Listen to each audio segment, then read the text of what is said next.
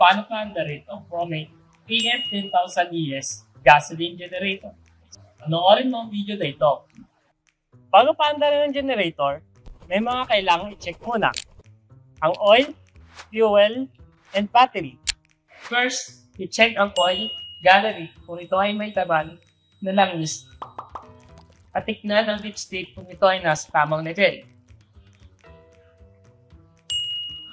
Second, check ang target kung may damang gasolina. Pag nasa pulang filter, yan ang maximum ng ating gasolina. 25 liters ang capacity ng ating tanke. Unleaded gasoline only. Third, i-check ang ating battery. Ito ay na- naka-install ng maayos. Kapag start ng generator,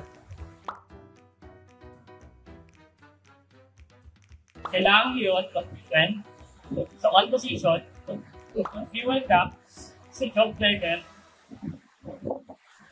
at yun ang singe, at my start.